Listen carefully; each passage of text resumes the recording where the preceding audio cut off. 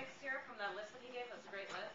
Um, if you're familiar with a site called Mashable, Yeah. okay, great, I- that is. I was gonna put that on there. I, I- it, because they, they organize it so well with how-tos, Mashable and Inside Facebook.